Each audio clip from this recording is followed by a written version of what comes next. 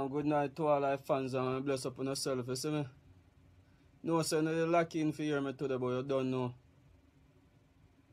Anything with me I do right now, then I work 150% in my favor, you know, make sense, you understand what I say?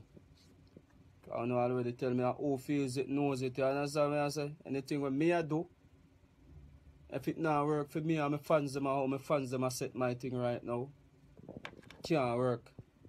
Trust me. So, no disrespect still about fans. Saturday, you know, we know what go on, you understand what I say? And as we say, anything what I do, that for work. For me, 150%, not even 100 can help me right now. You understand what I say?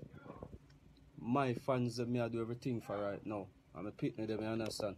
Mother road. So, Saturday we just lucky in and talk, not true? Me say good morning, fans. Mother road. Yeah, man. Like when you stand up and fight for me, you know, it don't take less than a week. For me, a 30 show in a Gambia first is a first, you know. And you don't know Italy pending, you understand what I say? And a few Caribbean pending right now, you understand? And you don't know a whole heap of place in the US pending same way, you understand? From New Jersey forward, you understand? So me I telling us, so yo, no just don't give up on your dream, you understand? Sometimes all you have to do is just ball and be yourself. You understand? And don't afraid to come out of character sometime, you understand, to make the thing work.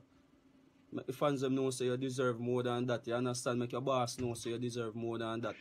So just like how you fight for me, me a fight back for you. Sometimes you have to ball out, man deserve more than that, you understand? Peace out.